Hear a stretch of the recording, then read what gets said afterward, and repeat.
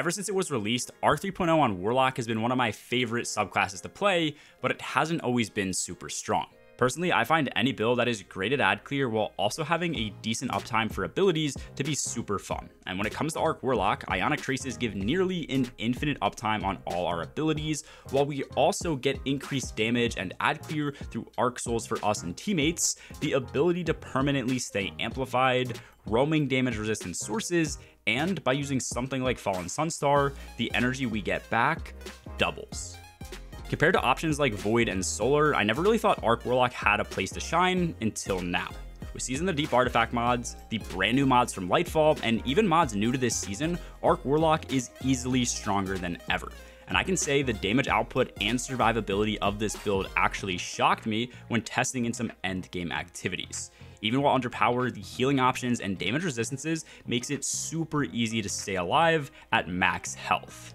The full mod setup also makes it insane for ability spam. You can constantly get your grenade back in a few seconds, where ionic traces feed into our armor charges, throwing our grenade refunds energy directly, and spamming our rift for constant arc souls and healing will also give energy back as well, on top of all the energy and healing we get from orbs of power and ionic traces already.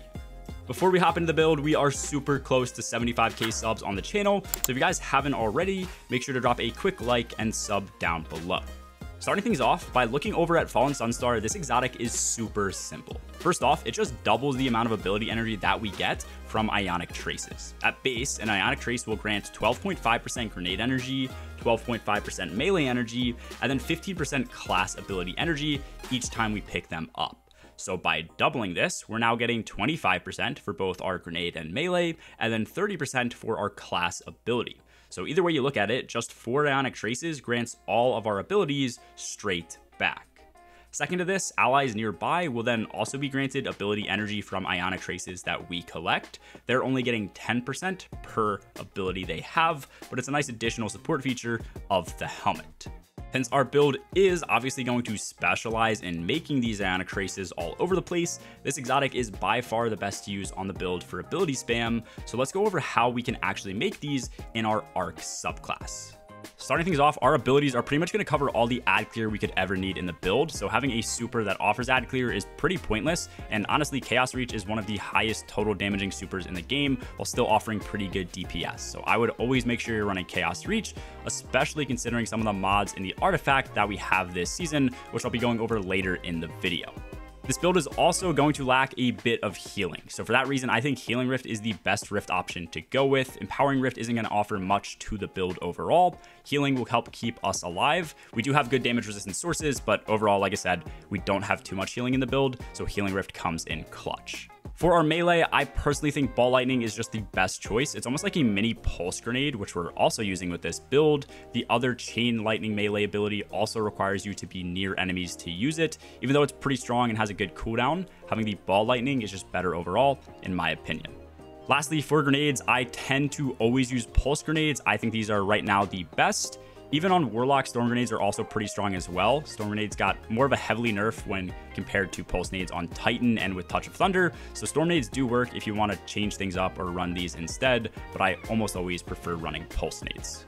For our first aspect, we are running Electrostatic Mind, which is how we make the bulk of the Ionic Traces in this build. With this, any ability Final Blow, which is going to be our grenade, melee, or even class ability, which I'll go over in a minute, is going to generate Ionic Traces.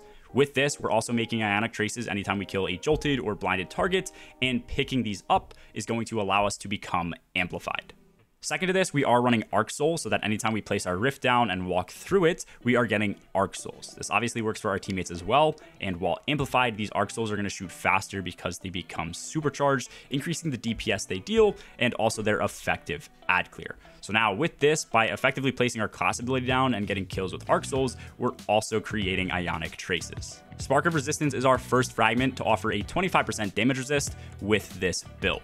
This does have the condition that you need to be within 15 meters of three or more enemies, and it was recently nerfed so that this only lingers for two seconds after those conditions are falling off. Spark of Magnitude is great, especially with something like a Pulse Grenade. This extends the duration of its lingering effects. So for something like a Pulse Grenade that works off of a pulse count, this goes from 6 total pulses to 8 total pulses now. And then with this, Spark of Shock is also going to increase the effective damage and add clear our grenades do because they now apply Jolt. So that increases the damage directly to targets that have Jolt applied to them and effectively the add clear and AoE because Jolt has a much further radius. Lastly, on this build, Spark of Discharge is pretty clutch because it allows weapon final blows that are arc to also create ionic traces, which is super nice. In case any of our abilities are not around, we can use this to create some ionic traces and then get those abilities back from scratch. These are all the mods I'm running on the build. Feel free to screenshot or pause the video here if you want. I will also have a dim link included if you just want to click on that. Arc Siphon allows arc final blows with weapons to create orbs of power. Since I mentioned we're using these to also create ionic traces, this is a nice synergy for the build, so we can also make orbs. Ashes to assets and then hands on are also going to increase the super energy we get as we get grenade final blows and as we get melee final blows, which happen super often since we're spamming abilities with this build. Firepower is going to now allow any grenade final blows we get to also spawn in additional orbs of power. Bolstering Detonation allows us to get increased class ability energy back whenever we deal damage with our grenades, which happens a lot, so we pretty much always have Arc Souls to offer for our team. Lastly, anytime we throw a grenade with grenade kickstart, we're getting a certain amount of energy straight back to our grenade. This is going to depend on how many copies we're running. So in this build, we obviously only have one copy. And then after that, it's going to depend on how many armor charge stacks we are currently at whenever we throw our grenade.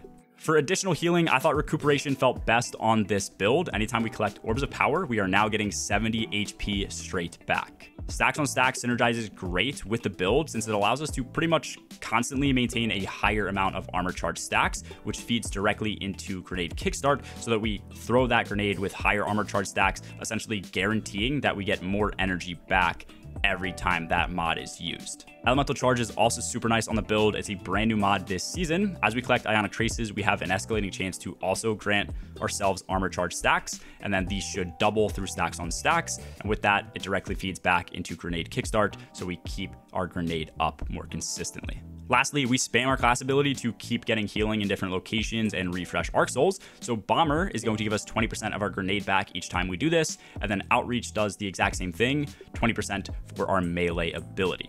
And then lastly, I am running powerful attraction so that any orbs we create in a vicinity will automatically be collected and applied to us, giving armor charge stacks and healing us through recuperation instantly anytime we use our class ability. There are five arc mods in the seasonal artifact that you might consider useful, so I'm to go over what these are and which ones you should actually be running. First up, Electric Armor just increases your amplified timer. This is useless. I had it on, but you don't really need this. Thunderous Retort is super useful. This gives a 30% increase in the damage your super deals, as long as you cast your super while amplified or while critically wounded, so absolutely make sure you're running this. Likewise, Amped Up offers a 30% damage resistance in PvE anytime you're amplified. So this stacked with Spark of Resistance and then also the base 30% that you get from tier 10 resilience is going to drastically scale up to help keep us alive. Despite what everybody says, Lightning Strikes Twice is borderline useless. This only offers a 130% additional grenade regen, but that 130% scales off the tier 3 value. So it's not the tier 10 value. At the end of the day, you're really not getting that much grenade regen back through this mod.